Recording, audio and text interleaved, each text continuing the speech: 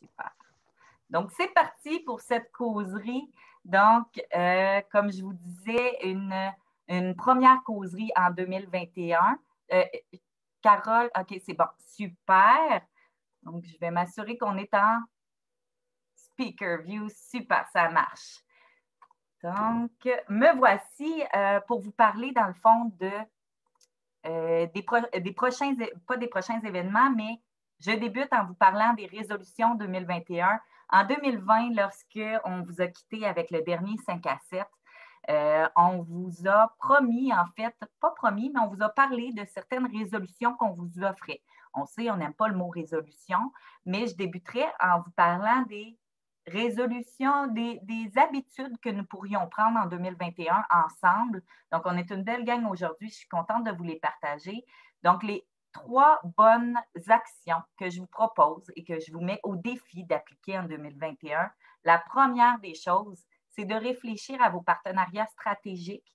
Donc, en ce moment, on parle beaucoup de ne pas avoir peur de la concurrence, de s'assurer que nos concurrents, au contraire, soient nos alliés. Donc, dans le cas d'un partenariat stratégique, je peux vous prendre euh, beaucoup de temps pour parler de partenariat stratégique. Si vous êtes intéressé, vous pourrez m'appeler.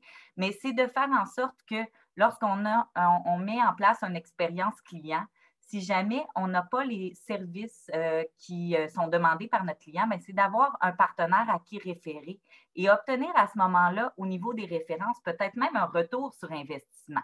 Donc, vous avez des beaux partenaires dans l'écosystème qui ne font pas nécessairement la même chose que vous. Donc, ayez pas peur de rencontrer des gens. Euh, je vois, Mylène, tu es coach, ben, tu es spécialisé dans ton domaine. vous avez beaucoup de gens qui sont, qui sont dans le même type donc secteur d'activité, mais qui fort probablement pourraient être des alliés parce que lorsqu'on on, fait du service ou on offre un produit à une clientèle, il y a toujours quelque chose qu'on peut offrir en, en, référence pour améliorer la qualité du service client qu'on offre. Donc, n'oubliez pas et n'hésitez pas à réfléchir stratégie, euh, partenariat stratégique.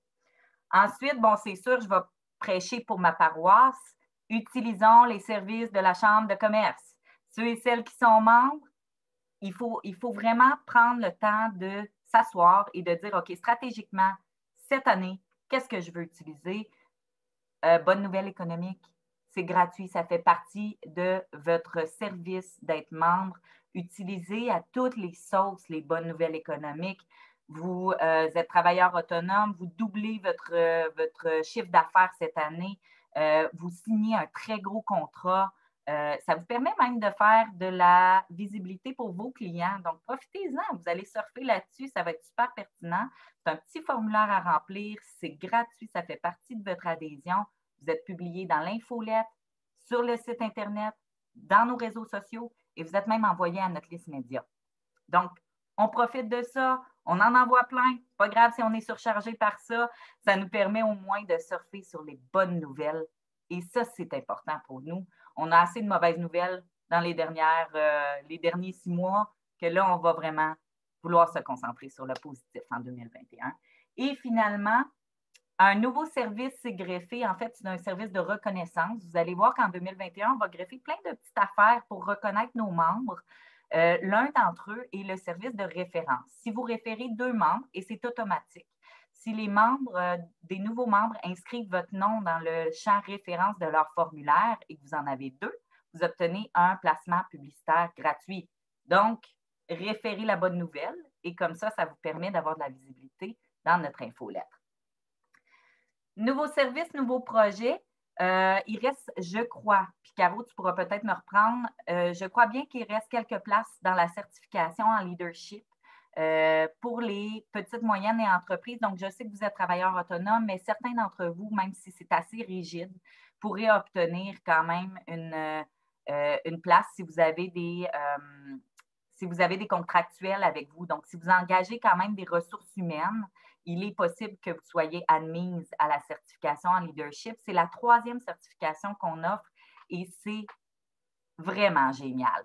Donc, euh, on, a, euh, on a ce service-là qui euh, va débuter en mars. Donc, si vous êtes intéressé par la cohorte en certification leadership, juste me, faire un petit flag. On va transmettre vos coordonnées à notre équipe qui pourra travailler sur votre dossier et voir si vous êtes admissible à celle-ci.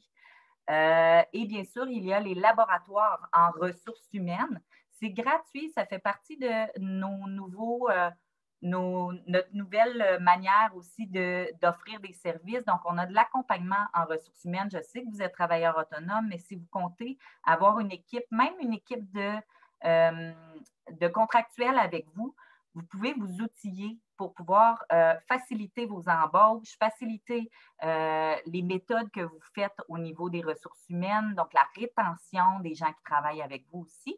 Donc, il y a des beaux laboratoires qui vous permettent d'échanger avec, euh, avec des employeurs euh, de la région et d'être accompagné sur des trucs et astuces, des guides de bonnes pratiques au niveau des ressources humaines. Donc, tout est en ligne. Vous pouvez voir les différentes dates des labos et vous inscrire selon les thématiques qui vous intéressent.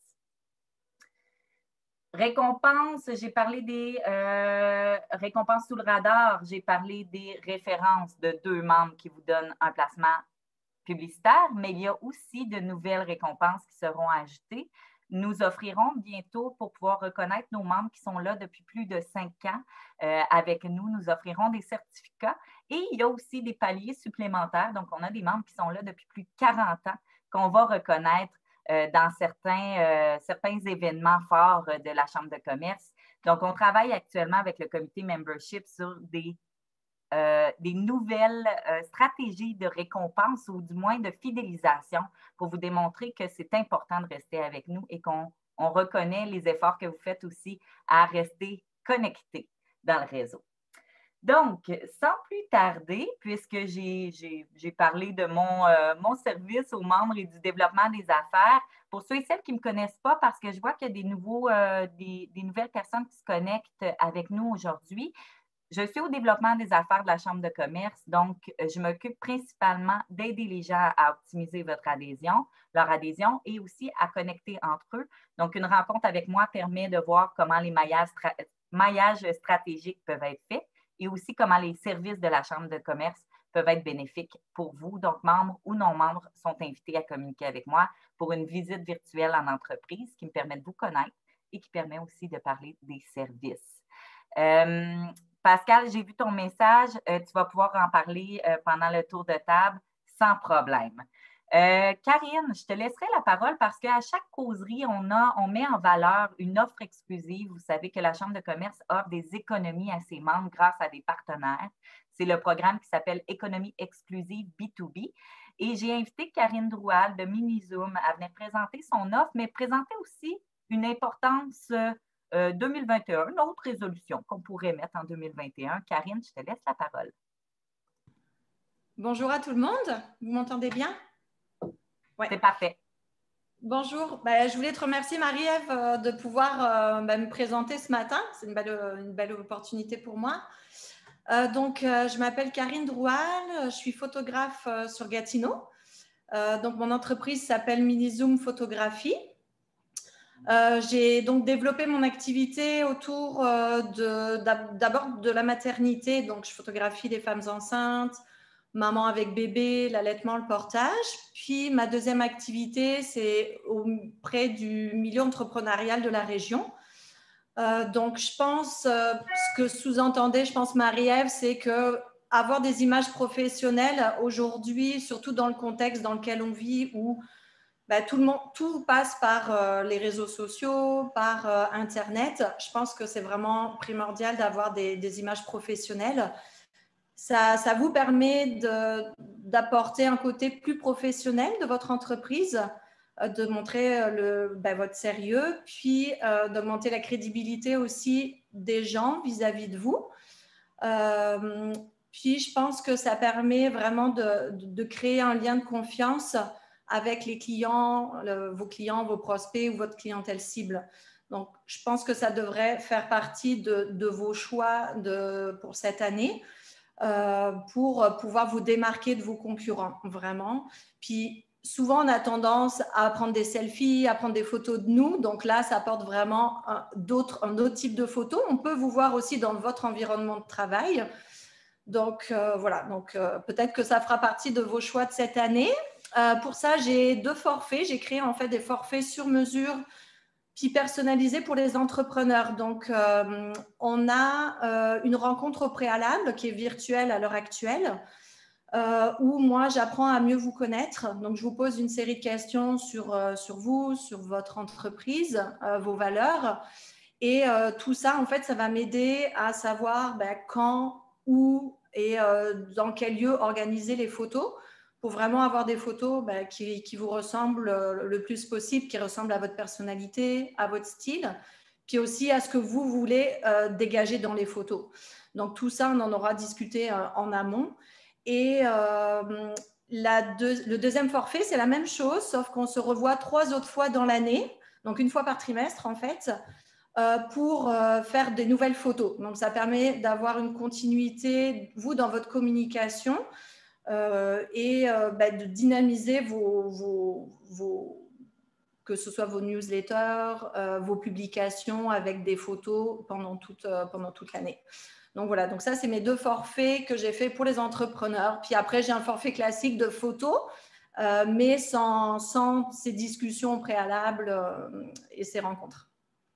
Donc voilà, donc j'ai un site internet, page Facebook où vous pouvez me retrouver. Merci beaucoup, Karine. En fait, Karine a été notre photographe euh, officielle aussi pour les photos de nos, euh, voyons, les membres de notre conseil d'administration. Donc, je tiens à te remercier au nom de l'équipe aussi d'avoir été avec nous pour euh, pouvoir prendre les belles, les beaux visages des membres bénévoles qui sont avec nous à la Chambre de commerce. Merci, Marie-Ève. Plaisir. Donc, sans plus tarder, on débuterait. Euh, Chantal, j'ai une question pour toi avant de te, donner la parole, puisque c'est vraiment la causerie qui nous permet d'offrir une thématique, euh, une thématique puis du contenu. J'aimerais euh, savoir avec toi, est-ce que tu préfères voir les gens, donc voir si les gens peuvent se présenter juste rapidement leur nom, leur nom d'entreprise pour que tu puisses savoir à qui tu t'adresses, ou ça va comme ça, puis à la fin, on fait le tour de table? Ben, peut-être me dire un peu à qui je m'adresse. Là. Parfois, je peux peut-être euh, ajouter des petites choses ou modifier des petites choses là, euh, dans ma présentation. Parfait. Donc, on va faire un tour de table très court. Je vous demande simplement de dire votre nom, euh, peut-être votre titre et le nom de votre entreprise. Et peut-être spécifier si vous êtes travailleur autonome ou non, parce qu'il est possible que vous ne le soyez pas, puis qu'on puisse quand même avoir de l'information à vous soumettre. Donc, je vais débuter par Linda. Oui, bonjour. Euh, Linda Breton, je suis travailleur autonome service conseil. Je suis spécialisée en gestion de projet. Alors, comment prendre des bonnes idées et puis euh, les faire arriver dans le, dans le concret? Super, merci Linda. Marie-Claude. Allô tout le monde, courtier immobilier chez Royal Lepage. Et puis, je suis, ben oui, travailleur autonome, mais je suis incorporée. Génial. Maintenant, Pascal de Montigny. Oui, Pascal de Montigny, présidente fondatrice de mon agent de com, puis également, euh, je suis responsable du volet du co-développement à la Chambre de commerce de Gatineau. Merci, Amal. je vous surprends ce matin. Oui, oui je ne m'y attendais pas. Euh, je suis Amal Zeriou, esthéticienne euh, et propriétaire de mon entreprise depuis sept ans, Centre d'esthétique Le Zénith. Merci, Amal. Euh, André de la Fondation. André, on ne t'entend pas. Micro, micro. OK, est-ce que c'est mieux comme ça? C'est parfait. Est-ce que vous m'entendez? Oui. OK, bonjour. C'était juste pour faire un effet, je l'ai fait exprès. c'est pour me faire. Euh, non, euh, mon nom est André. Mon nom, c'est André Renaud. Je suis présidente de la Fondation Red Robin. Euh, c'est un organisme de bienfaisance, donc il y a une comptabilité euh, particulière pour euh, respecter les normes de Revenu Canada. Merci, André. Caro, je te passe. Je m'en vais à Mylène. Bon matin tout le monde, Mylène Deneau, euh, Contact Expertise Conseil. Donc, euh, je, suis formatrice expérience client, tout ce qui touche service à la clientèle, gestion de plainte, upselling, etc. Et aussi organisatrice de l'événement de Noël dans le Vieux-Elmer. Mhm. Donc, un travailleur autonome mais incorporé aussi. Merci. Merci Mylène. Julie, Délice Sublime. Oui, bonjour tout le monde. Je suis euh, Julie euh, maman de trois beaux enfants, naturopathe et gourmande. Donc, j'ai décidé d'ouvrir une compagnie de dessert à collation santé pour que tout le monde puisse se gâter sans culpabilité. J'adore ton pitch. On dirait que tu es formé pour ça. Super pitch. Carole Thériault. Oui, bonjour, Carole Thériault. Moi, je suis euh, coach euh, personnel et professionnel et travailleur autonome depuis maintenant plus de 15 ans. Alors, très plaisir d'être là ce matin. Merci, Carole. Madeleine. Un nouveau visage. Madeleine, on ne vous entend pas. Vous devez cliquer sur votre micro.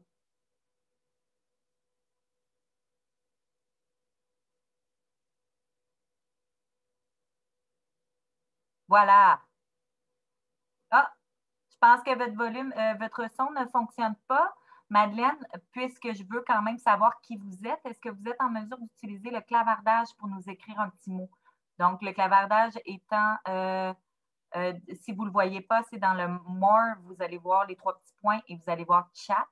Et juste l'ouvrir et nous écrire votre nom, votre titre, votre entreprise, je vais pouvoir le mentionner à l'équipe. Je pense que votre micro a peut-être des difficultés à ce niveau-ci. Je vais passer à Jessica en attendant. Salut, euh, moi c'est Jessica Bellil-Macar. Je suis la propriétaire du cabinet d'orthophonie Jessica Bellil-Macar. On est 13, euh, dans le fond, 13 travailleurs autonomes à travailler sous la bannière puis euh, je suis enregistrée et incorporée. Merci, Jessica. Donc, Karine, on a entendu parler de toi, donc je vais passer à Philippe.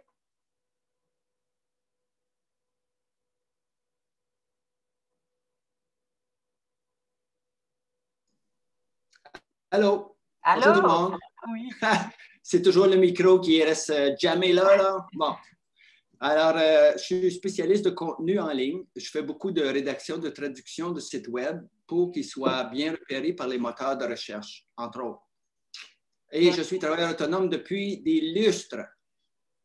Un, vétéran du travail autonome. Merci, Philippe. Euh, dans les autres, je n'ai pas votre, vidéo, donc je vais vous nommer si jamais vous n'êtes pas en mesure d'activer votre micro. Euh, je vais passer au suivant si je ne vous entends pas. Donc, Julie Desjardins.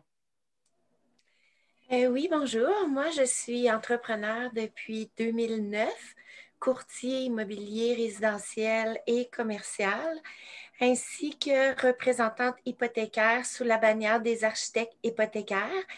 Euh, je me forme présentement au financement commercial des entreprises et euh, je suis anciennement présidente du Club des entrepreneurs de l'Université du Québec en Outaouais.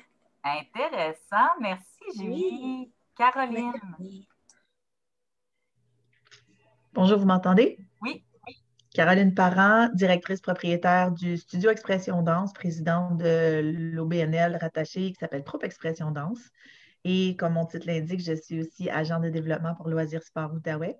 Donc, euh, fortement impliquée dans le milieu culturel qui, lui aussi, a plusieurs entreprises qui auraient grandement besoin de vos services très contente de voir la diversité des entrepreneurs ou des travailleurs autonomes qu'on a aujourd'hui avec nous. Je suis bien heureuse. Marie-Josée.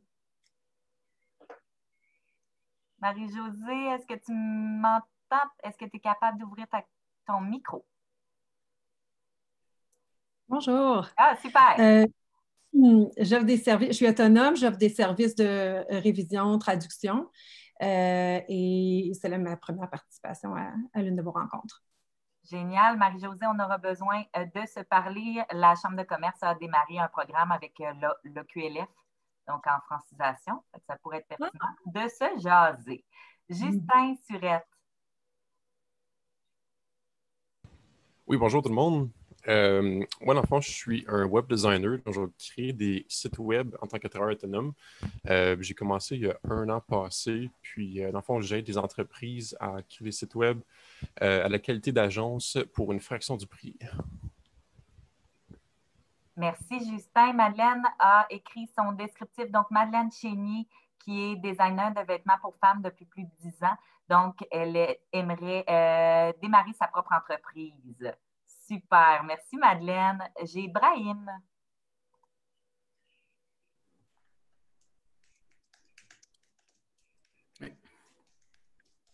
C'est parfait. bonjour tout le monde. Moi, mon nom, c'est Brahim Abid. Je suis un comptable agréé du Québec. Euh, je suis un membre du conseil d'administration du Centre islamique de l'Ottawa. Et la raison pour laquelle je suis ici, pour savoir quand les, opportunités pour travailler autonome, travailler autonome pour démarrer ma, propre entreprise.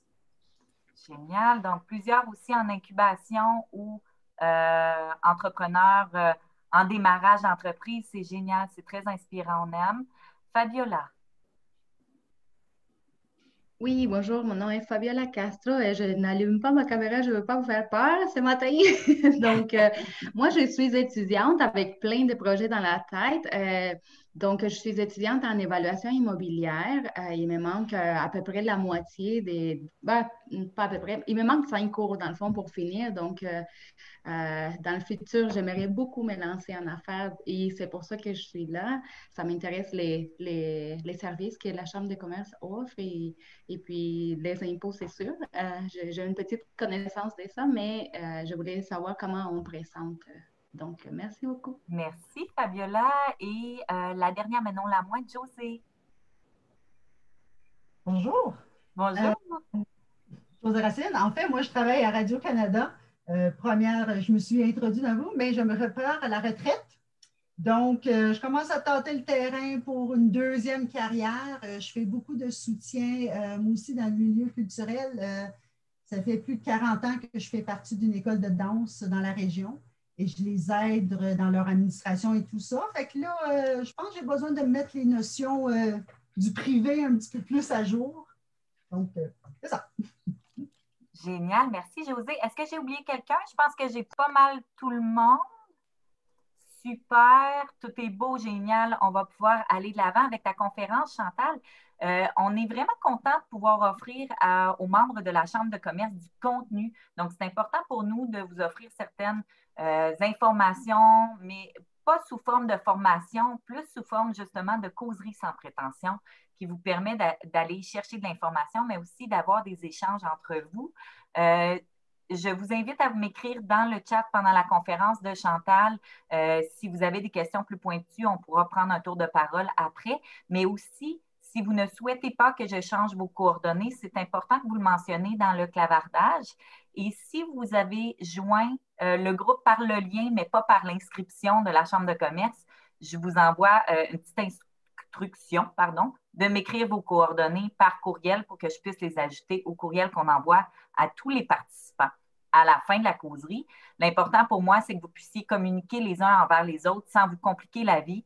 Donc, pour ceux et celles qui ont cliqué sur le lien qui était sur le Facebook ou euh, par courriel qu'on a envoyé, mais qui ne se sont pas inscrits dans notre module, je vais vous demander de m'envoyer vos coordonnées par courriel.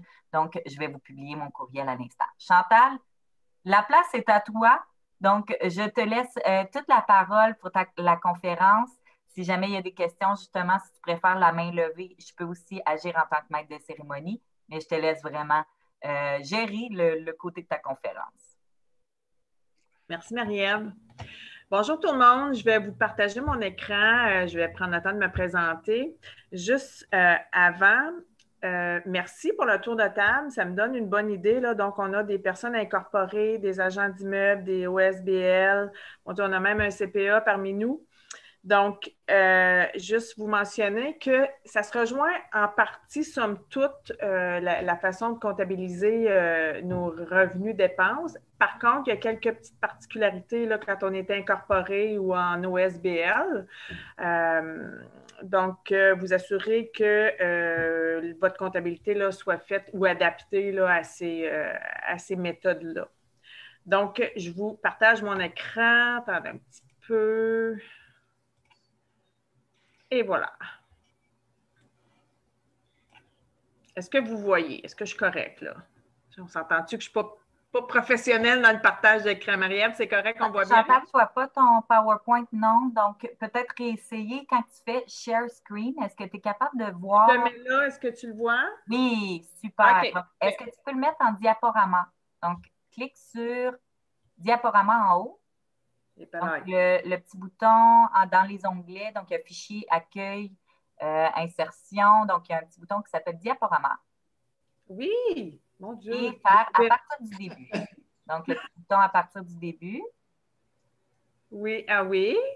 Ah, et voilà. Voilà. Ça fonctionne? Oui. Bon, OK. On apprend tous les jours. Euh, je vais dire OK là-dessus. Donc, euh, je me présente, Chantal Thibaudot, je suis présidente de mon entreprise Comptabilité sur mesure de l'Outaouais. Euh, j'ai étudié en administration comptabilité, j'ai travaillé en cabinet comptable, en entreprise, j'ai été travailleur autonome aussi. Je possède plus de 25 ans d'expérience dans le domaine.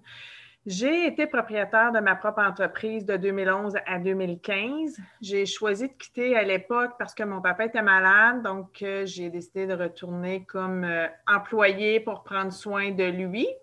Et me voilà de retour depuis un an avec euh, mon entreprise et très heureuse de l'être. Je suis une femme assez déterminée, je suis rigoureuse, je suis fonceuse, débrouillarde, je suis amoureuse de la vie, je suis une fière amoureuse d'un homme merveilleux, une maman, une mamie. Donc, en somme tout, je suis une femme assez normale avec sa business. Euh, je possède un assez bon sens de l'organisation. Je pense que c'est nécessaire quand on est en entreprise. Euh, d'être bien organisé. Euh, je prends le temps de me mettre à jour continuellement en fiscalité ou en d'autres domaines de comptabilité. Je suis quand même assez active dans ma communauté. Je suis trésorière pour le Club optimiste de Hall. J'ai été trésorière pour euh, un CPE. Je fais bien sûr partie de la Chambre de commerce, mais je suis aussi présidente d'un groupe euh, GR international. Donc, pour moi, c'est important de m'impliquer et d'être là ce matin avec vous. Euh, jamais un point d'honneur à servir mes clients, ma communauté, puis mes valeurs sont le respect, la solidarité, l'accueil, l'humanité, l'écoute. Donc, je crois que ce sont toutes des valeurs importantes là, pour bien, euh, bien fonctionner au travers d'une entreprise. Donc, assez parlé de moi, je vais passer tout de suite là, pour que je puisse vous en donner euh, le plus possible. Donc, déclaration de revenus 2020. Euh, quelques petites dates importantes. C'est important de prendre note que pour euh, monsieur, madame, tout le monde, euh, la déclaration d'impôt est due au 30 avril. Si vous êtes travailleur autonome, vous et votre conjoint pouvez soumettre au plus tard le 15 juin vos déclarations de revenus. Mais attention, vos impôts doivent être payés au 30 avril. Donc, la logique se veut que si vous avez versé des acomptes provisionnels, vous êtes correct, vous pouvez soumettre au 15 juin. Par contre, si vous n'avez pas soumis euh, d'acompte provisionnel tout au long de l'année, vous allez devoir euh, payer votre impôt au 30 avril. Donc, je vous conseille fortement de produire votre déclaration pour le 30 avril. Je parlais d'acompte provisionnel. Ce que c'est des acomptes provisionnels, c'est payer ses impôts à l'avance pour ne pas avoir de surprise. Donc, euh, si vous faites plus, si vous devez plus de 1800 dollars d'impôts, c'est possible que les gouvernements vous l'exigent. Sinon, je peux vous le recommander fortement euh, si vous n'êtes pas du genre à être capable de vous mettre des sous de côté pour payer vos impôts à la fin de l'année. Donc, c'est une recommandation que je vous fais fortement euh, d'envoyer des accounts provisionnels à Revenu Québec, Revenu Canada. Sinon, je vais conseiller, euh, consulter un conseiller financier ou vous ouvrir un CELI pour mettre des sous de côté là, pour que vous, vous puissiez faire des, des intérêts sur ces sous-là. Mais ça, c'est un autre domaine. Donc, pièce justificative, vous devez garder euh, au moins sept ans. Donc, c'est six ans complets. Donc, on dit sept ans. Tous vos documents, vos registres, vos pièces justificatives, c'est important de les garder. Le gouvernement a sept ans pour revenir vérifier vos, euh, livres. Et vous pourriez euh, avoir beaucoup de problèmes si ce n'est pas le cas. Donc, conservez vos documents très précieusement. Si vous n'avez pas créé votre dossier à, à, l'ARC ou votre Clic Secure à Revenu Québec, je vous le conseille fortement. C'est des mines d'or d'informations. C'est en fait, c'est toute votre information fiscale. La personne qui fait vos déclarations de revenus va vous aimer. Vous n'avez pas idée à quel point. Donc, euh, puis, ça évite souvent des surprises là, euh, de ne pas savoir. Là, euh, vous, recevez un avis de cotisation, vous ne savez pas pourquoi, mais si vous avez accès à vos informations, mon dossier en ligne ou ClickSecure, vous, vous, allez éviter beaucoup de surprises. Donc, vous pouvez aussi communiquer. Là, ça se fait assez facilement via Internet. Euh, sinon, euh, Revenu Québec peuvent vous guider facilement. Revenu Canada, dernièrement, c'est un autre cas d'essayer de les rejoindre. Donc, ça me fera plaisir de vous guider là, si euh, quelques-uns parmi vous avaient besoin d'aide à ce niveau-là. Euh, on y va avec les feuillets que vous avez besoin. Donc, euh, monsieur, madame, tout le monde, si vous êtes travailleur autonome, mais aussi employé, vous avez besoin, bien sûr, pour produire vos déclarations de revenus. Euh, certains feuillets parmi ceux-là, ça ne veut pas dire que vous les avez tous. Donc, vous êtes employé, vous avez besoin de votre T4 et le relevé 1, super important. Vous êtes sous-traitant pour euh, une entreprise, un T4A ou un relevé 2. Dernièrement, j'ai vu une question sur Internet. Est-ce qu'on est obligé de faire des, des T4A, des relevés 2? Euh, c'est fortement recommandé. Par contre, euh, le travailleur autonome peut aussi gérer. Je vous mets un peu en contexte. Moi, j'engage une sous-traitante et euh, à la fin de l'année, je peux lui remettre un T4 relevé 2. Sinon, elle se doit de faire sa comptabilité, comme la plupart d'entre nous allons faire, euh, comptabiliser ses revenus dépenses. Euh, cotisation REER, donc si vous cotisez durant l'année, vous avez besoin de vos feuillets. Vous avez retiré des REER, vous avez des, vous retirez vos fers, vous avez besoin de vos feuillets également, donc le T4 RSP et le T4 RIF. Plusieurs frais médicaux sont admissibles, dentistes, médicaments, lunettes, professionnels de la santé. On peut vous guider au travers de ça si vous avez besoin de, plus de directives, mais sinon, demandez-les à la personne qui fait vos déclarations de revenus pour qu'elle puisse vous mentionner quels professionnels de la santé sont admissibles. Euh, bien sûr, ça prend, ça en prend quand même euh, beaucoup pour, euh, pour que ça soit une bonne déduction, mais souvent, ça vaut la peine. Je vous invite aussi à cet ainsi de l'année à aller à votre pharmacie Allez demander votre relevé de médicaments. Ils peuvent vous donner ça. Souvent, ils chargent 2 ou 5 là, mais c'est assez pratique quand vous faites vos, déclarations de revenus d'avoir ce relevé-là en main. Si vous avez des dons de charité, vous avez des placements, vous avez des contributions politiques, vous êtes un professionnel de la santé, vous avez des cotisations syndicales et professionnelles. Au lieu de le mettre dans votre comptabilité, je vous recommande fortement de l'apporter euh, d'apporter votre reçu, facture, peu importe, là, euh, à votre euh, préparateur d'impôt. C'est plus rentable de le mettre directement sur la déclaration de revenus plutôt que dans, vos, dans votre comptabilité, dans vos dépenses admissibles.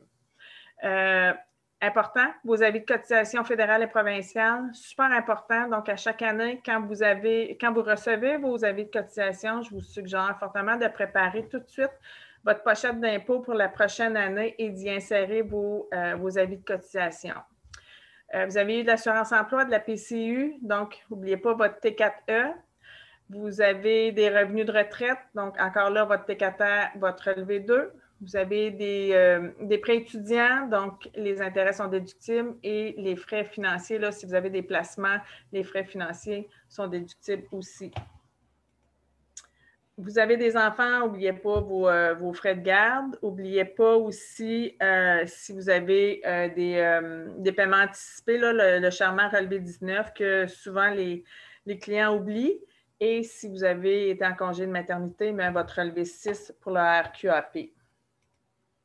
Et voilà, vous êtes travailleur autonome. Ce qu'on a besoin, bien sûr, c'est vos revenus d'entreprise qui doivent être comptabilisés. Si vous êtes inscrit aux taxes, euh, c'est vos revenus d'entreprise avant les taxes, vos achats directs. Donc, je suis euh, une coiffeuse, donc là, euh, les achats directs, ça va être le shampoing, la mousse, revitalisant, toutes ces choses-là. Publicité, les frais de repas, on va y revenir. Vous avez des frais de représentation, on va y revenir également. Vous avez une assurance professionnelle pour votre taxe d'affaires, votre permis d'affaires, les frais de bureau. Frais de bureau, j'entends par là toute la papeterie, euh, tout ce qui est euh, fourniture de bureau en tant que tel. Petit bémol ici, si vous achetez une imprimante, un mobilier de bureau, un ordinateur, euh, une chaise, tout ce qui est au-delà de 500 devient un bien amortissable, donc capitalisable. Ça ne va pas dans cette catégorie-là. Je vous invite à les mettre de côté et peut-être les apporter à votre comptable euh, quand il va préparer vos impôts pour qu'on puisse aller chercher les amortissements là-dessus. Qu'est-ce qu'un amortissement? C'est on prend les dépenses, euh, c'est un 20 de dépenses euh, qu'on prend par année, c'est une loi du, une loi du gouvernement. La fourniture, bon, moi, ce que je mets dans la fourniture, c'est souvent les, produits nettoyants, le papier de toilette. vous êtes un, un monsieur de construction, mais ça peut être les clous, etc. Frais juridiques, vous avez payé un avocat, un notaire, les frais juridiques sont admissibles. Je reviens, cotisation professionnelle, je vous reviens encore avec l'information que je vous ai donnée tantôt. Je ne la mettrai pas dans votre comptabilité d'entreprise, mais plutôt à part directement sur votre déclaration de revenus. Vos frais comptables, la personne qui fait votre tenue libre ou qui prépare vos, euh, vos impôts, c'est déductible. Le loyer, si vous avez pignon sur rue. Entretien, réparation, si vous avez des employés, les salaires sont déductibles. Encore là, si vous avez pignon sur rue, les impôts fonciers, taxes municipales scolaires, les frais de déplacement, l'essence, téléphone, services publics, frais de livraison, congrès et formation. En gros, ça se résume à ça, vos dépenses admissibles d'entreprise. Bien sûr, il y en a quelques-unes qui peuvent s'ajouter selon votre corps de métier. Euh, vous avez un bureau à domicile. Tantôt, on a parlé de pignon sur rue. Maintenant, on parle de bureau à domicile. Donc, il faut déterminer la superficie de votre, euh, votre bureau euh, à la maison. Donc, c'est le nombre de pieds carrés de votre maison versus le nombre de pieds carrés de votre bureau, l'espace que vous utilisez pour votre bureau. Donc, ça deviendra le pourcentage qu'on pourrait utiliser pour déduire les, les dépenses suivantes. Donc, l'électricité, le chauffage, Entretien, réparation, mais là, attention, entretien, réparation, là, ça, c'est vraiment pour la pièce que vous utilisez. Mais également, euh, si, euh, supposons votre bureau est au sol, bon, mais il y a euh, l'escalier qu'on peut utiliser à 50% votre entrée qu'on peut utiliser à 50% Donc, il y a un calcul là qu'on peut aller chercher supplémentaire là, pour les espaces communs que vous allez partager avec vos clients que vous allez recevoir à la maison. Intérêt hypothécaire, votre loyer, assurance habitation, téléphone, Internet, euh, impôts fonciers, donc taxes municipales et scolaires, sont les dépenses pour votre bureau admissibles. Les frais de repas et présentation, euh, ici, je garde un bémol, vraiment la, façon, soyez assez modéré là-dessus, puis la façon, euh, la, comment je pourrais vous expliquer, le, la, règle des frais de repas, c'est vous devez avoir deux repas sur la facture. Vous devez documenter votre information. Vous êtes allé manger avec qui, pour quelle raison. Ça, c'est important. Si vous vous documentez, le gouvernement a moins de chances de vous refuser vos dépenses. Si vous faites votre tenue de livre vous-même, n'oubliez pas que la TPS, la TVQ, euh, la taxe est admissible juste euh, à 50% Donc, l'autre 50% vous pouvez le mettre dans votre dépense ça se peut que je vienne de vous mêler un peu. Là. Si c'est le cas, vous me poserez la question à la fin. Euh, les frais de repas également sont admissibles si vous vous, déplacez à l'extérieur de 40 km pour suivre des formations, rencontrer un client. Vos frais de repas sont admissibles. Les frais de représentation, c'est euh, des billets d'entrée à des spectacles euh, encore là, ces deux billets, vous devez justifier, évidemment. Vous ne pouvez pas juste décider d'aller voir euh, Jean-Michel Anctil un, vendredi soir puis euh, passer votre déduction là. vous devez justifier les raisons pourquoi vous payez des billets de spectacle, mais ça peut être aussi, vous achetez ça en cadeau à quelqu'un, à, ben, quelqu'un, à votre client pour une promotion, vous allez des, manifestations, vous allez exceptionnellement faire du PR au golf. Euh, ce sont des dépenses admissibles, mais avec certains, euh, certaines bémols. Les dépenses automobiles, c'est un peu le même principe que le bureau à domicile tantôt. je m'excuse, c'est j'ai une question. Est-ce que tu préfères qu'on attende à la fin? Euh, peut-être, oui. Je pourrais peut-être finir de passer. Peut-être que je vais répondre à vos questions. Sinon, oui, à la fin, ça va me faire plaisir. Merci. Merci. Dépenses automobiles. Donc, si vous ne l'avez pas fait déjà, quand on va finir notre rencontre, allez braver la tempête et prendre votre kilométrage de, départ euh, de début d'année dans votre voiture. Donc, je dis toujours de la prendre au début de l'année et prendre le kilométrage à la fin de l'année aussi pour avoir votre kilométrage total parcouru pour l'année. Puis, entre ça, vos déplacements euh, chez des clients, euh, vous, vous tenir un logbook, là, donc qui va tenir euh, votre point de départ, votre point d'arrivée et la raison de votre visite chez le client. Encore là, il y a une règle qui dit que chaque commun des mortels qui va travailler doit se déplacer. Donc, le gouvernement refuse le premier. Si vous, si vous travaillez de la maison, premier départ du matin, et le dernier retour du soir ne compte pas dans vos frais de déplacement parce que le gouvernement se dit, ben, si vous allez chez votre client ou vous allez travailler chez un employeur, vous devez vous déplacer de toute façon.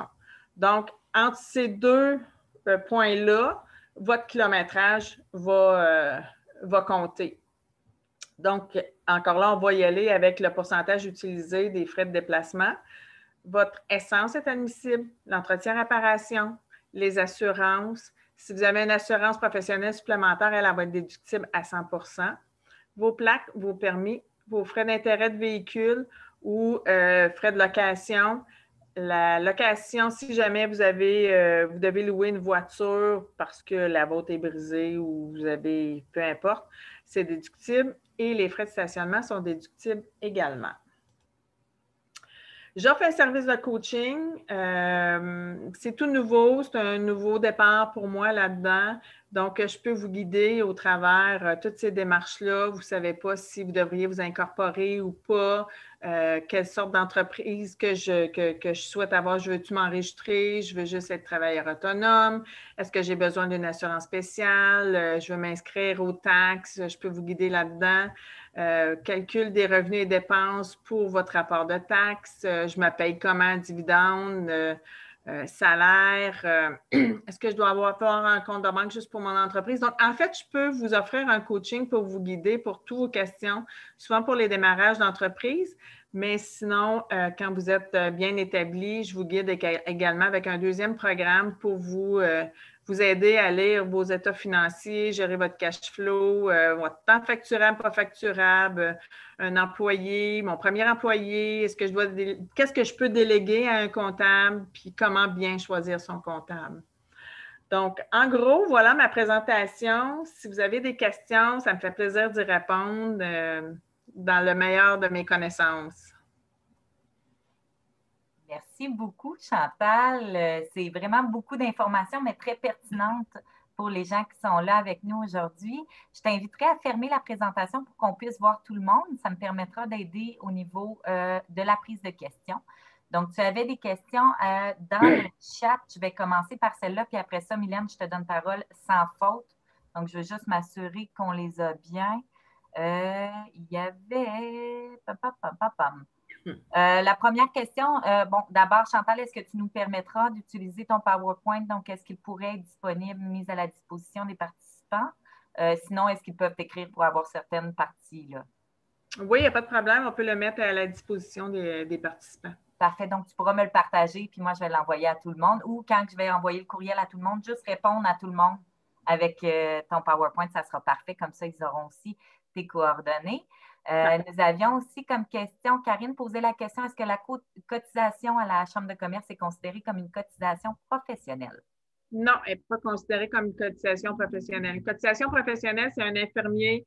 On avait un audiologiste, je crois, tantôt, euh, un médecin, un avocat, un notaire. Ça, c'est des cotisations professionnelles. Chambre de commerce, c'est une cotisation, euh, en fait, publicité. On peut, peut le mettre soit dans abonnement cotisation ou encore dans la publicité, mais je suis portée plus à le mettre dans, abonnement et cotisation.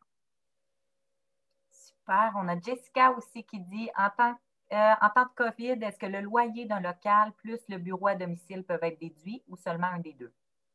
Bien, il va y avoir des exceptions, c'est sûr, là, à cause du COVID. Donc, oui, le, local, c'est sûr qu'il est admissible à 100% mais ça va être facile de justifier aussi que votre, vous avez dû travailler de la maison là, à cause de la pandémie. Mais encore là, ça va être au prorata de la, de la portion utilisée. Ça reste à voir si le gouvernement va préférer qu'on utilise là, euh, la, la, la, nouvelle méthode de calcul là, pour euh, le télétravail. Donc, ça restera à vérifier. Et ils peuvent valider ça auprès de. Bien, je vais, euh, en fait, moi, je m'en vais faire ma, ma, formation. Là, donc, on n'a pas toute cette information-là encore. Je pourrais vous la fournir au, au, moment de que j'aurai l'information au début février. Sinon, euh, c'est facilement vérifiable auprès soit auprès de votre comptable ou auprès de Revenu euh, Québec. Mais je ne vous conseille pas d'essayer d'appeler Revenu Canada, c'est assez l'enfant, mais je pourrais vous fournir l'information. Merci, c'est vraiment apprécié. Chantal, on a une dernière question avant que je donne la parole euh, en main levée donc à l'ensemble des participants. Caroline pose la question comment pouvons-nous réserver tes services de coaching de comptabilité? Euh, simplement m'écrire. Je peux vous laisser euh, mon. Ben, je crois aussi, Marianne, tu vas transmettre les informations. Exact. Donc, je vais communiquer avec moi soit par téléphone ou par courriel. Ça va me faire plaisir de vous aider. Merci beaucoup. Donc, euh, Chantal, je vais remettre euh, le tag view pour qu'on voit tout le monde. Et euh, je vais vraiment vous inviter. Faites juste un petit signe de main quand vous avez une question. Donc, ah oui, Mylène, excuse-moi, je t'allais t'oublier. Merci, chère. Donc, Mylène, je te laisse la parole. Puis après ça, je pense que j'ai Marie-Josée qui avait levé la main ou Karine? Marie-Josée, super. Merci, Marie-Ève. Euh, Chantal, merci beaucoup pour ces, informations-là. Euh, c'est vraiment pas euh, ma tasse de thé. J'ai un comptable, mais je n'ai pas, pas reçu toute l'information que tu nous as partagée ce matin. Donc, c'est vraiment le principe que j'amène mes documents, puis il fait la job. Là, cette année, quand tu as présenté les dépenses admissibles, on s'entend qu'avec la COVID, il y a beaucoup de choses qui ne sont plus là ou qu'on ne peut plus dépenser est-ce que tu aurais des idées de dépenses euh, au niveau de la créativité ou je ne sais pas quoi? Qu'est-ce qui serait admissible vu que moi, je vends des services? Puis souvent, mon comptable me dit, tu n'as pas beaucoup de dépenses, il faudrait que tu trouves des dépenses. Mais là, avec ce que tu as identifié, il m'en restait plus gros dans ta liste. Bien, en fait, il va rester. Est-ce que toi, au préalable, tu travailles toujours dans la maison ou tu travailles? Oui, ben, je vais rencontrer mes clients sur place, mais là, euh, depuis mars, ça se fait pas mal euh, virtuellement. Puis les formations, donc je faisais imprimer des cahiers de participants. Maintenant, c'est virtuellement. Donc, euh, tant le déplacement que l'impression, c'est ça, c'est pas mal tout derrière mon ordi. Est-ce que, ben, tu entre autres, les achats là, pour les paiements qu'on a faits pour Zoom, ça va être admissible? Ça, ça va être tout admissible. Il n'y a pas, euh, my God, euh, tu, me poses une colle, j'essaie de voir. Euh, il n'y en aura pas beaucoup, effectivement. Ah, je, comprends que c'est une année exceptionnelle aussi. exactement. On va être plus limité à ce niveau-là, mais je dirais là, toute l'accessoirisation que tu auras acheté pour te permettre là, de, de, de, fonctionner virtuellement va être euh, déductible aussi. Puis, euh, mais le reste, bureau à domicile, tu le déduis déjà. C'est sûr que là, les frais de déplacement, il n'y en a pas vraiment. Euh, tu as moins de frais de papeterie, effectivement, parce que, comme tu dis, il n'y a plus de, de cahiers de participants. Mais c'est surtout, ça va être de voir là, au niveau virtuel, qu'est-ce que tu as tout dépensé là, pour pouvoir te permettre d'être fonctionnel à ce niveau-là. Là, je pense que ça va être plus là qu'on va pouvoir miser pour les dépenses mais le reste, il n'y a, pas, y a, pas de découverte sorcier à faire. Là. OK, merci beaucoup. Il y a quelqu'un qui m'écrit des dépenses de formation est admissible. Oui, absolument. les dépenses de formation sont admissibles. On a Marie-Josée, puis il y a une question aussi de Brahim, mais je laisserai la parole à Marie-Josée en premier. Merci. Euh, merci beaucoup pour cette présentation. Euh, moi, j'ai deux questions. Euh, puis là, c'est sûr que cette année, on n'en a pas fait là, des dépenses euh, repas, mais euh, je me suis toujours posé la question, est-ce que j'inclus les pourboires dans, dans, ces frais-là? Oui, absolument. mon comptable, puis en fait, je ne l'ai jamais fait. Je ne mets jamais les pourboires, donc, mais je, je dois. Oui, les pourboires sont admissibles aussi. Euh, tu gardes ta facture, puis souvent, on va payer par débit ou euh, carte de crédit. Donc, garde le petit reçu qui va avec, qu'on voit le montant de pourboire que tu as donné. Est-ce que je dois le mettre dans une colonne? Parce que moi, je fais une colonne TPS. Mais l'inclut directement dans ta dépense, ton pourboire. Ben, c'est que je lui fais des colonnes dans, un document Excel, là, puis... Euh, ben, tu as ta colonne restaurant. Oui. Supposons que ton restaurant coûte 25 tu as 3 de pourboire, ben, ta dépense va être 28 ah, OK, OK. Parce que moi, c'est ça, je faisais TPS, TVQ. Euh, puis là, je pensais faire une autre Si tu es inscrite à la TPS, TVQ, là, oublie pas. Là, donc, ton, ton frais de, de, TPS, TVQ, tu réclames juste la moitié de la taxe. OK. Donc, si c'est, euh, je ne sais pas, moi, 1 de TPS, 2 de TVQ, ben, ça va être euh, un, 50 sous de TPS, 1 de TVQ. Cette différence-là, l'autre dollar 50, là, tu vas l'ajouter dans ta dépense plus ton pourboire. OK, OK. Bien, ça, je pense qu'il il fait ça pour moi. Là. J'ai jamais eu. À... Bien, c'est bien de le savoir, merci. Euh, mon autre question, c'est hors sujet, puis je m'en excuse, mais je veux profiter de, de, cette rencontre pour dire pour des, pour, euh, des cadeaux de Noël offerts, euh, bon, pour des clients, oui, il y a une partie qui, peut être déduite. Mais pour des propriétaires de logements, si on offre des cadeaux à nos locataires, est-ce que ça peut être déduit, ça aussi? Non. non. Merci. C'est tout. Merci beaucoup. Bienvenue. Merci. On a Brahim qui dit euh, Brahim, si tu veux ouvrir ton micro, tu pourras poser, ta question toi-même. OK, d'accord.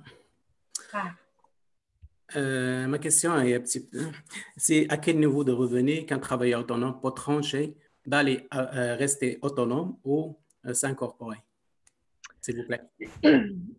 Brahim, est-ce que tu exerces déjà, toi, ou c'est tout nouveau? Tu viens de finir tes études? Euh, j'essaie de me faire une tête un peu avec toi qui est CPA. Tu viens d'arriver ou explique-moi un peu? En fait, moi, euh, je, suis un gestionnaire maintenant.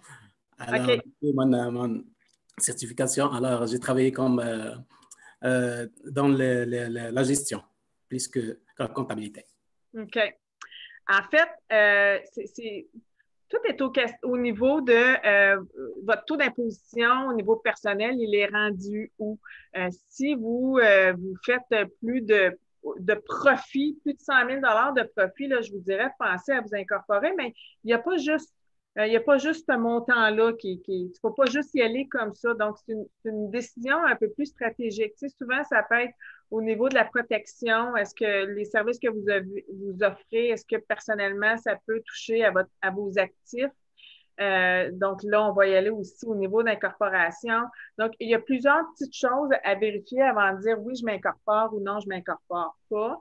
Les, certains professionnels aussi ne peuvent pas s'incorporer. Donc, ça reste à vérifier. Là, je vous conseille fortement de, d'aller questionner plus votre comptable à ce niveau-là pour voir la, la, décision la plus stratégique possible à prendre pour vous. Parce qu'il ne faut pas oublier aussi non plus qu'en tant qu'incorporé, on est régi par plus de lois. Donc, la comptabilité devient un peu plus stricte encore. Puis là, vous vous retrouvez à faire un impôt euh, particulier, donc pour vous personnellement, mais un impôt aussi pour votre incorporation. Donc, ça engendre aussi des frais, là, des frais d'incorporation, des frais de comptable plus dispendieux à chaque année. Donc, euh, allez-y stratégiquement, là, prenez le temps de vous informer comme il faut là, avant de prendre cette décision-là. OK, d'accord, merci. Est-ce que j'ai répondu à votre question? Oui, c'était pas mal. Euh, c'est beaucoup d'informations que j'ai ignorées. Euh, ma question, c'était seulement euh, pour, euh, pour un niveau de revenu, par exemple, au-dessus de 40 000, au-dessous de, de, 40 000, par exemple, on peut s'incorporer. C'est mieux. Pour le, taux d'imposition, Bien, vous, vous, pouvez vous incorporer dès le départ parce que le taux d'imposition est moindre. Mais le calcul à faire, c'est est-ce que ça va me coûter plus cher euh, de, frais comptables parce que je suis incorporé ou euh, ça va me coûter plus cher d'impôt. Donc, il y, a, quand même une vérification à faire là. Tu sais, souvent, on veut économiser de l'impôt, mais on ne gagne tellement pas beaucoup au niveau, euh, au niveau de l'incorporation qu'on paye la différence en frais comptables. Tu sais, une production d'impôt, c'est, on part un, rapport d'impôt d'incorporation, c'est 800 en partant. Donc, tu sais, ça, c'est, pas cher. Là. Fait que, vérifiez ça. Là c'est pas toujours euh, euh, une bonne décision d'aller s'incorporer tout de suite au départ. OK, parfait. Merci. Bienvenue. En parle, nous avions Jessica. Oui, euh, en fait, c'est parce que au début, vous aviez parlé là, des T4A pour les travailleurs autonomes, ou bien en fait les, gens que, vous allez chercher. Moi, j'ai demandé à mon comptable, puis il m'a dit qu'il n'était pas certain là, au niveau de la, la, la pertinence compte tenu euh, que je leur versais un montant pour, le service rendu, puis qu'il y avait une feuille à la fin de l'année de tous les services rendus. Est-ce que je devrais euh, avoir un T4A aussi? La question est euh, est-ce que vos, vos sous-traitants ont juste vous comme cliente ou s'ils ont d'autres clients? ben, c'est moi qui, qui attribue les clients à mes sous-traitants. Mais c'est mais, vous qui êtes payé, là. C'est pas chaque client paye. Non, exactement. Dans ton cas, à toi, je, me, je leur soumettrais vraiment des T4A. OK. Parce que euh, souvent, euh, il y a un danger là, dans votre cas à vous, là, parce que ces, ces, sous-traitants-là peuvent aussi être vus comme, euh, comme des employés. Donc, j'irais me protéger en, soumettant des T4A, là, parce que ça, c'est une autre présentation que je pourrais faire à un moment donné. Là. Il y a une différence entre un employé et un travailleur autonome, mais la, la CNESST là, est assez euh, stricte là-dessus. Donc, la ligne est mince entre les deux. Là. Ben, moi, je sais que dans mon contrat, c'est clairement stipulé là, que c'est pour service rendu travailleur autonome. Fait qu'au niveau du contrat d'emploi, euh, il y a vraiment une clause travailleur autonome. Fait que ça, je sais que de ce côté-là, ça, ça vient couvrir. Euh, mais oui, OK, je vais, vérifier. Moi, je mettrais des T4A dans votre cas. Ça. Chantal, j'essaie de voir tout le monde, mais j'essaie aussi d'être en speaker view, donc d'avoir les gens qui puissent euh, en, enregistrement voir ceux qui parlent. Donc, euh, j'ai vu Linda. Donc, Linda, je te laisse la parole. Ensuite, Caroline. S'il y en a d'autres, je vais essayer de surfer sur ma ligne. Donc, tenez votre main levée pour les prochains bonjour Chantal, merci pour, euh, pour la présentation. C'était très, euh, très euh, informatif. Moi, j'avais deux petites questions. Quand vous avez parlé des frais de repas, vous avez mentionné que c'est des frais de repas, mais seulement si c'est à plus grand que 40 kilomètres.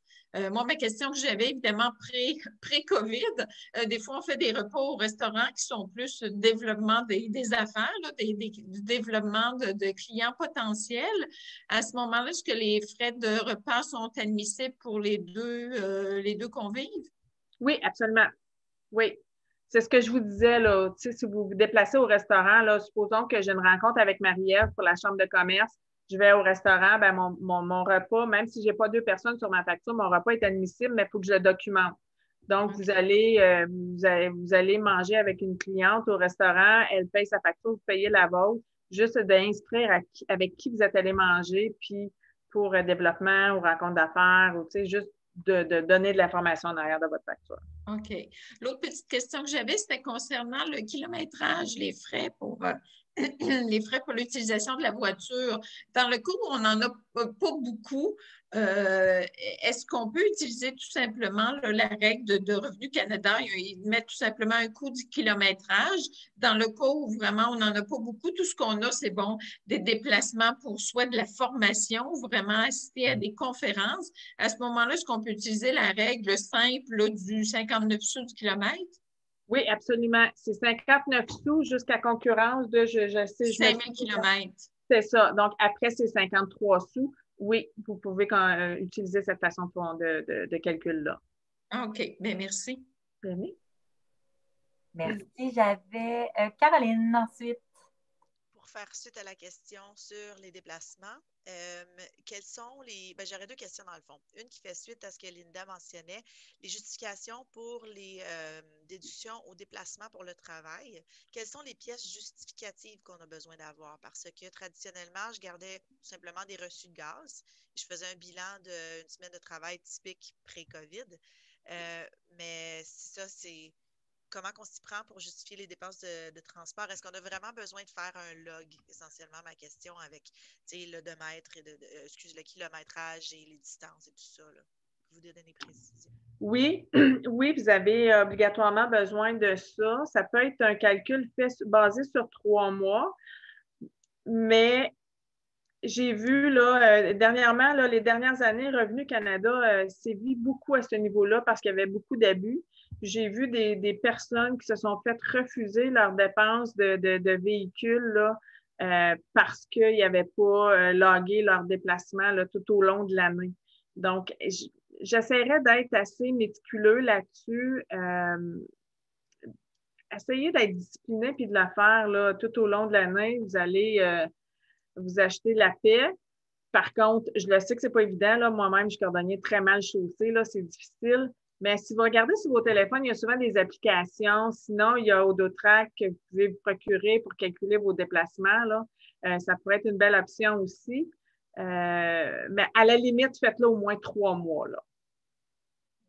Et ma deuxième question, c'est peut-être plus détaillé par rapport à ce que je crois Marie-Claude avait abordé, parce qu'il y a deux milieux qui se sont fait un peu reprocher par Revenu Canada de d'imposer obligatoirement un titre d'employé. Il y a quelques années, les écoles de danse puis les studios de coiffure se sont fait dire que les euh, euh, ben, essentiellement les travailleurs autonomes, là on parle de coiffeuses et de professeurs de danse qui sont vraiment juste des contractuels, euh, étaient obligatoirement obligés de transférer à un statut d'employé mais ça a été revoqué avec Revenu Canada. Fait que là, en ce moment, je ne sais pas trop où me situer. Dans mon contrat, ça stipule bien sûr que tous les professeurs de danse sont des travailleurs autonomes, responsables de leurs propres heures, dépenses et tout ça. Mais c'est peut-être un petit peu complexe pour aujourd'hui, mais euh, comment confirmer qu'on a effectivement des contractuels pour s'assurer qu'on ne se fait pas euh, taper ses doigts après? Bien, première, en fait, là, les règles simples que vous pouvez regarder, c'est est-ce que euh, ces, sous-contractants-là sont régis par des heures? Il faut qu'ils soient à votre bureau de, de 9 à 5. Est-ce que. essayez de voir est-ce qu'ils ont une certaine liberté ou sont vraiment régis comme un employé? Donc, ça va être de déterminer la différence entre les deux. S'ils sont obligatoirement sont obligés d'être là de telle heure à telle heure, sont, ils sont obligés de prendre les vacances dans telle période, euh, leur pause de dîner est juste à cette période-là.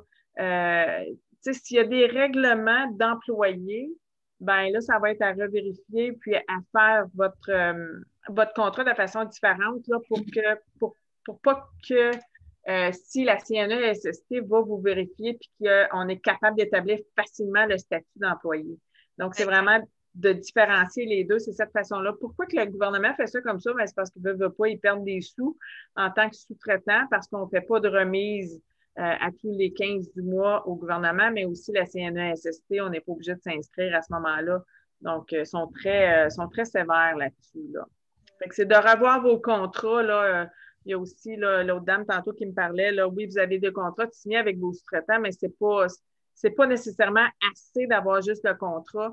C'est de voir qu'est-ce que, qu'est-ce que votre contrat contient. Quels sont les règlements que vous avez mis à votre sous-traitant puis euh, les termes utilisés dans votre contrat, soyez, euh, soyez très attentifs à ça. Parce que ça pourrait vous coûter très, très cher. Oui, puis justement, c'est dans les circonstances parce qu'on a des jeunes professeurs, on parle ici des mineurs souvent, des filles de 16, 17 ans qui vont travailler à raison de une ou deux heures par semaine. C'est un horaire régulier parce que le cours ou le contrat est toujours attribué à la même heure, mais est-ce que ça rentre selon toi dans un cadre d'employé? Parce que, tu sais, on parle encore là d'une question de deux heures par semaine. Bien, des étudiantes, euh, des étudiants et étudiantes à raison d'une heure ou deux par semaine, je ne me compliquerais pas tellement la vie là-dessus, Mais je prendrais le temps de m'informer quand même à la CNESST, mais je serais portée à quand même payer euh, comme un T4A puis je le dis sous toute réserve, là, parce que ils sont quand même régis, il faut qu'ils soient là de telle heure à telle heure. Euh, c'est assez délicat comme situation. Je prendrai le temps de m'informer comme il faut puis de démêler ça avec la CNESST là, pour ne pas avoir de surprise. Merci. Bienvenue. J'ai Carole ensuite. Oui, Chantal, je me demandais si tu aurais peut-être certains conseils à nous donner pour euh, peut-être réduire nos impôts euh, autre que le fait euh, d'acheter des REER. Est-ce que tu as certaines suggestions à nous donner à ce, niveau-là?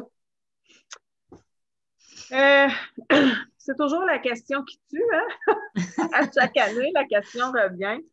Moi, ce que j'aime souvent vous dire, c'est d'aller consulter un conseiller financier. Ça, ça serait la première des choses parce que oui, les, la stratégie REER, mais souvent, eux peuvent vous conseiller sur une autre stratégie c'est souvent les gens les mieux placés pour vous conseiller au niveau stratégie impôt que, euh, qui, pourraient travailler en collaboration avec votre comptable. C'est aussi de voir les dépenses admissibles que vous avez le droit. Est-ce que vous mettez vraiment toutes les dépenses admissibles que vous avez le droit? Ça, ça serait une autre conversation à avoir avec votre comptable. Peut-être qu'il y a des dépenses que vous ne pensez pas que vous pouvez mettre qui sont admissibles. Donc, à ce niveau-là, ça va être de voir ça. Euh, il n'y a pas de stratégie. Euh, euh, comment je pourrais dire, magique pour vous faire économiser de l'impôt, à part, bien sûr, les REER, ça peut être aussi des placements dans vos CELI, euh, payer vos accounts provisionnels, mais surtout de voir les dépenses que vous, euh, vous, vous, mettez à l'intérieur de votre, votre, votre entreprise. Est-ce qu'il y en a d'autres qu'on pourrait aller chercher qui seraient admissibles?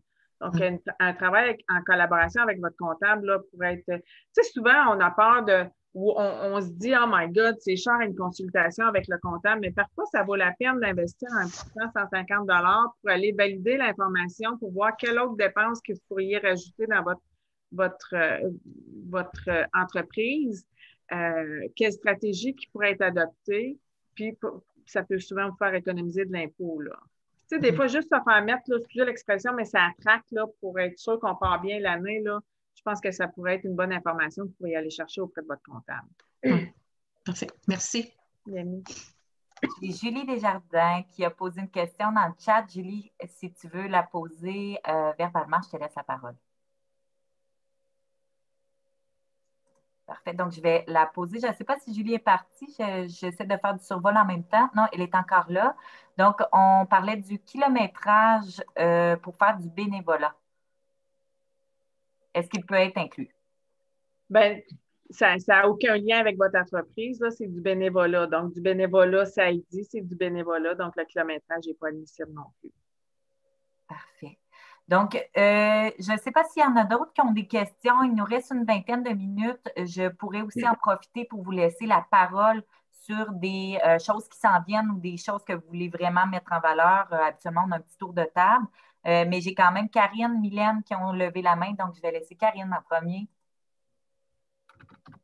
Euh, moi, j'aurais bien aimé savoir par rapport euh, aux incorporations les, différences entre les salaires et les, dividendes. Si vous pouvez nous conseiller, qu'est-ce qui serait plus, euh, plus intéressant d'avoir ou faire, à quoi faire attention Si on choisit par exemple que les dividendes. Bien, si vous choisissez les dividendes, premièrement, votre entreprise doit être à profit. Si elle n'est pas à profit, vous devez avoir les actifs qui vont compenser pour la perte de votre entreprise si vous prenez des dividendes. Il euh, faut aussi faire attention parce que si vous prenez juste des dividendes, ça veut dire que vous ne pourrez pas nécessairement cotiser à vos REER. Il y a aussi un fin calcul pour les frais de garde si vous avez des enfants.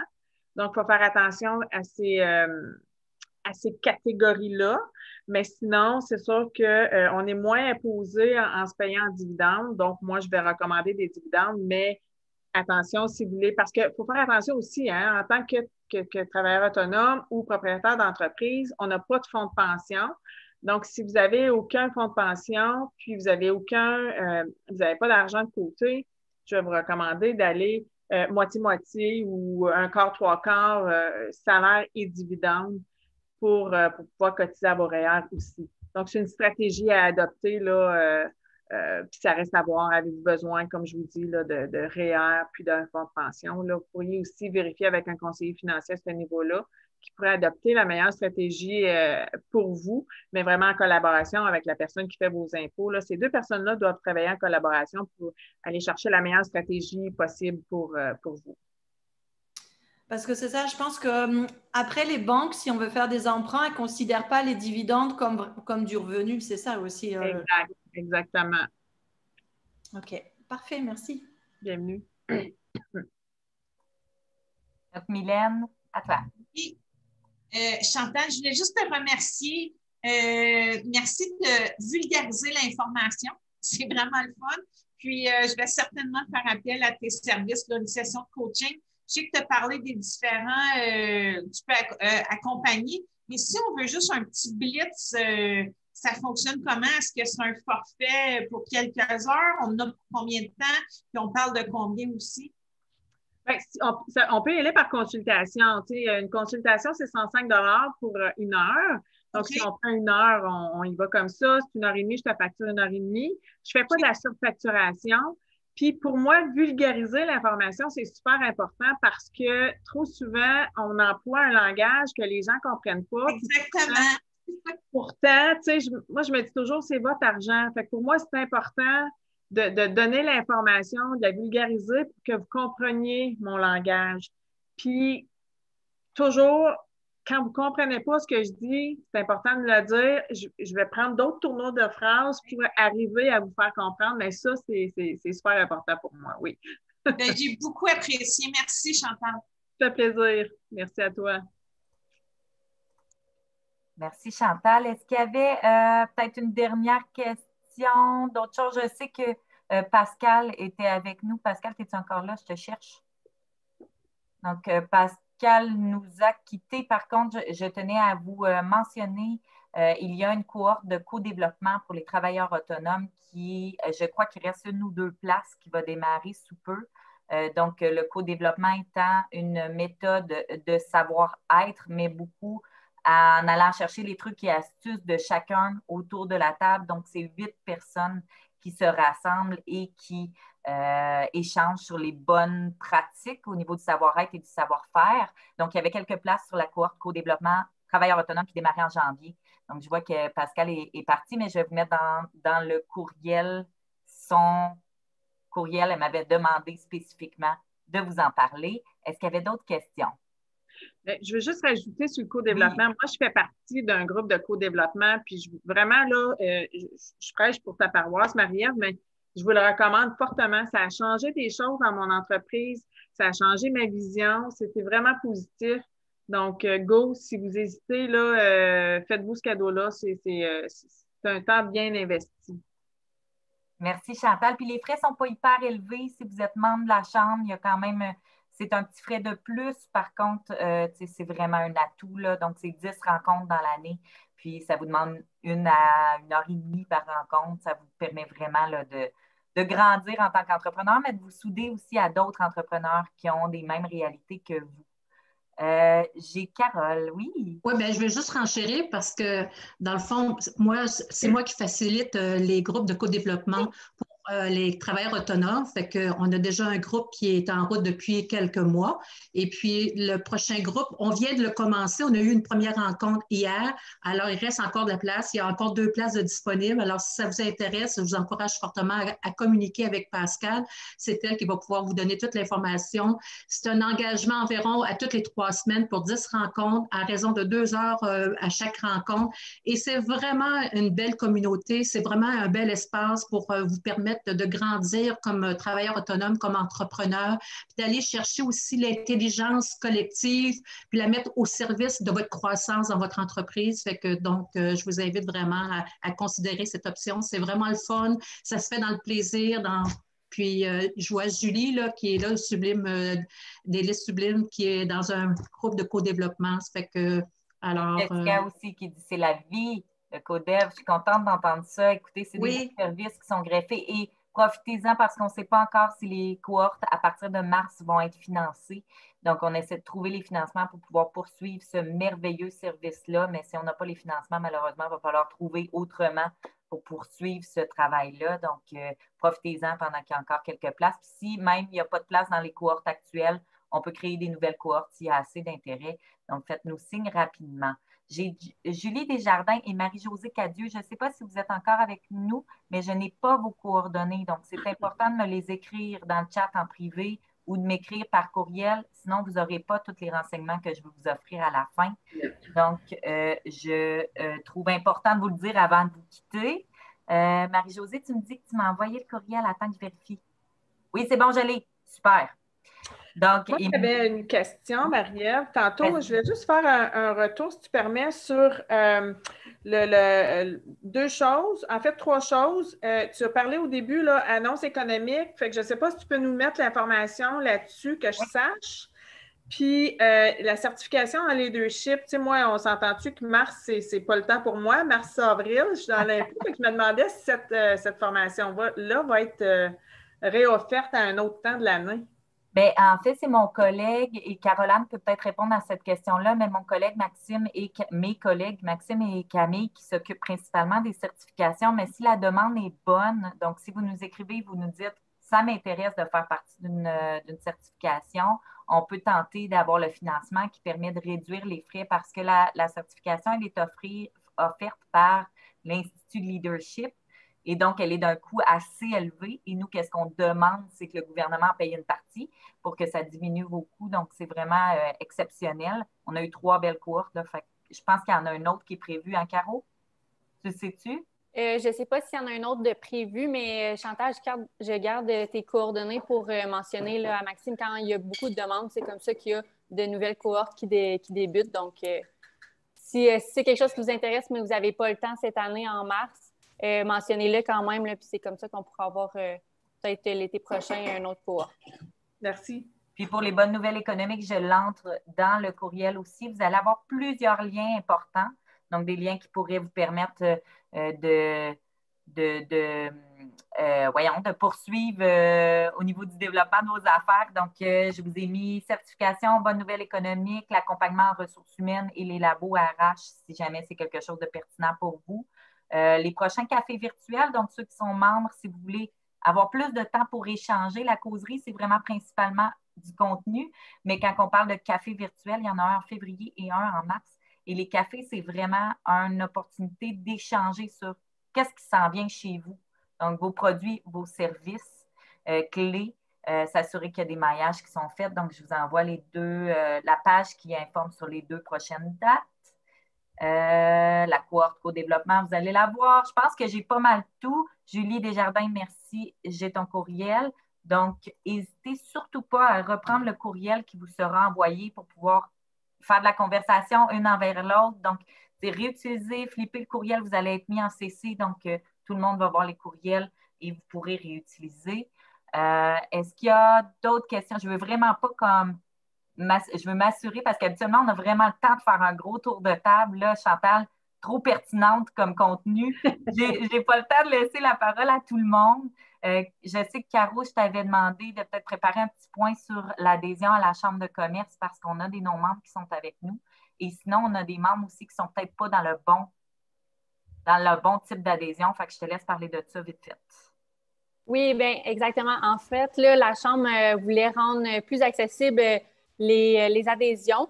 Donc, euh, on, a, on a un tarif réduit pour les travailleurs autonomes, là, donc la catégorie solo entrepreneur. Donc, pour euh, les membres ou non-membres. Si vous n'êtes pas dans la bonne catégorie, vous pouvez communiquer avec moi, puis on pourra évaluer là, si, euh, si vous êtes admissible à celui-là.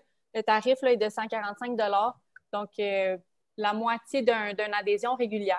Puis en même temps, si le codet vous intéresserait, ça, fait, ça fait un membership très intéressant à prix réduit. Super. Puis il y a aussi le prochain 5 à 7. Nos 5 à 7 cette année sont ouverts à tous. Pour ceux et celles qui n'ont jamais testé la plateforme Remo, je vous invite à le faire. Oui, c'est un peu technologique. Oui, ça prend un petit peu de temps pour s'adapter, euh, mais c'est le fun. Je sais, euh, Jessica, tu étais là hier pour le grand rapprochement. Euh, c'était un gros 5 à 7. On était 145, 165, je pense que ça atteint pendant la soirée. Donc, une belle plateforme à découvrir. On va rester en mode virtuel jusqu'en en fait, jusqu'à la fin probablement de notre saison événementielle pour s'assurer de votre sécurité et s'assurer aussi de répondre aux mesures gouvernementales imposées. Mais euh, faites-vous-en pas, dès qu'on a une petite parcelle d'ouverture pour pouvoir faire du présentiel, on va commencer à essayer de faire de l'hybride, comme je vous disais. Euh, Chantal, en mon nom personnel, en celui de Daniel, qui est absente, mais qui avait euh, mis ton nom dans le chapeau. Je te remercie sincèrement des renseignements. Je sais que c'est très généreux de prendre le temps, mais aussi de prendre des renseignements qui habituellement sont offerts en, individuel et qui sont chargés. Donc, merci beaucoup d'être là avec nous aujourd'hui. Sachez, mesdames et euh, Brahim, parce que là, ah, et Philippe, donc nos deux messieurs qui sont avec nous aussi, sachez que si offrir une conférence est quelque chose qui vous intéresse, euh, il nous reste, je crois, une causerie au cours de l'année qui n'est pas encore, euh, qui n'est pas encore euh, attribuée à quelqu'un. Donc, si vous aviez un contenu pertinent à offrir et, qui souhaite, que vous souhaitiez être mis en valeur, c'est votre occasion. Donc, vous pourrez m'écrire si ça vous plaît. Mylène, je te fais un clin d'œil là-dessus si jamais ça te. Donc, communiquez avec moi si vous avez une thématique. On choisira, Caro et moi, comme la thématique qui, selon nous, est la plus, euh, la plus euh, importante pour notre communauté d'affaires. Euh, j'ai José, Caro, je vais t'envoyer un petit message de la part de José. José, si tu peux écrire à, à Caro dans le chat ou comme simplement réécrire à, à Caro, ses coordonnées vont être dans le, dans le courriel pour l'adhésion. Je remercie Chantal. Euh, est-ce qu'il y a d'autres personnes qui voudraient prendre la parole? Il me reste cinq minutes. On dirait que j'ai le goût de finir avec quelqu'un, euh, avec d'autres personnes qui voudraient nous jaser des prochains projets qui leur arrivent.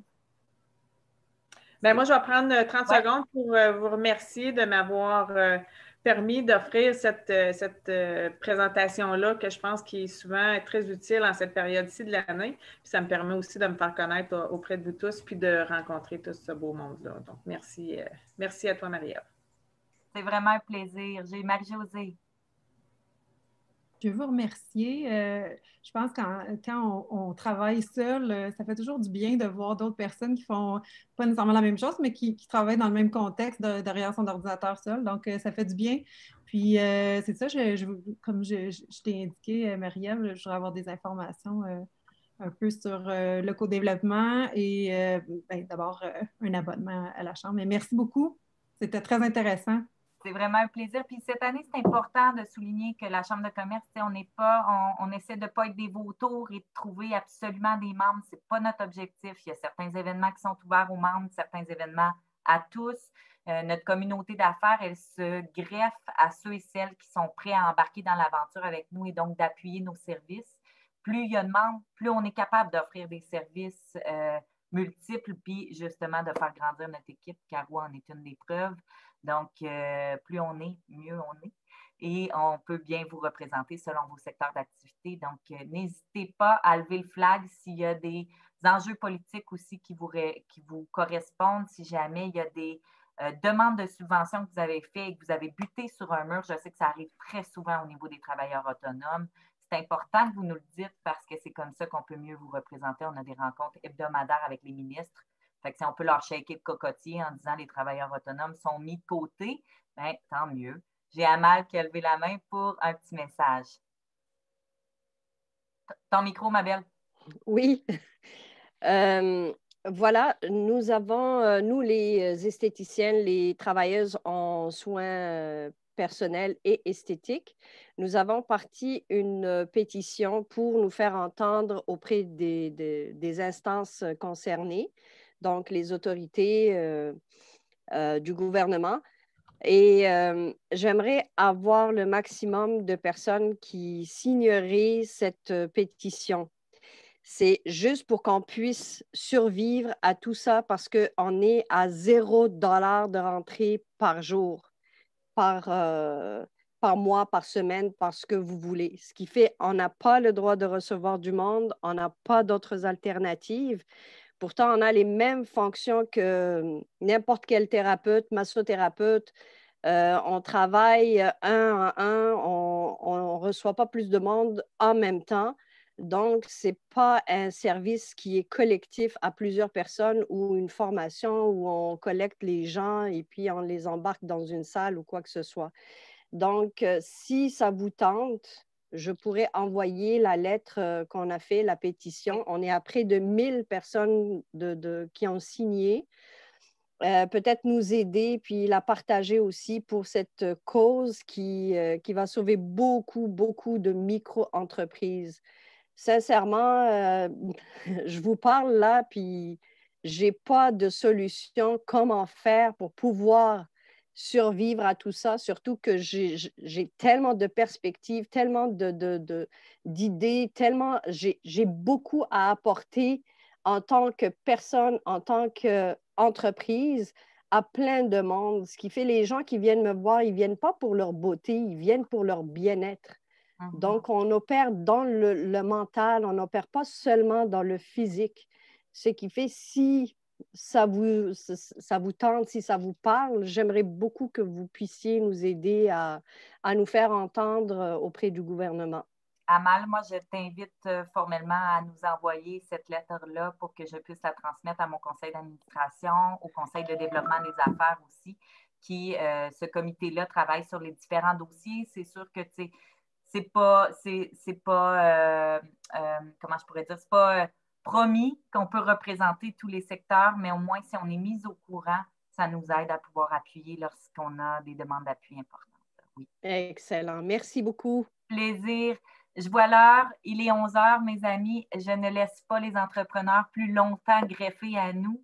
Euh, si vous avez des questions, vous recevrez le courriel à l'instant avec tous les courriels de chacun. Donc, n'hésitez pas à communiquer avec nous. Jessica, j'ai eu ton message. Je vais faire un petit suivi.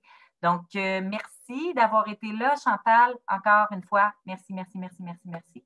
Et euh, on se revoit donc. La prochaine causerie est seulement en février, mars, avril, en avril. Donc, février et mars sont des mois qui seront exclusifs aux membres avec les cafés virtuels de développement des affaires. Par contre, les 5 à 7 sont ouverts. Donc, on se revoit, je l'espère, dans les prochains. Merci à tous, puis on vous souhaite une très belle journée euh, enneigée. Il commence à, ne plus neiger, mais au moins, ça, j'espère que vous serez prudent. Je pense que vous n'avez pas la route à prendre, donc c'est tant mieux.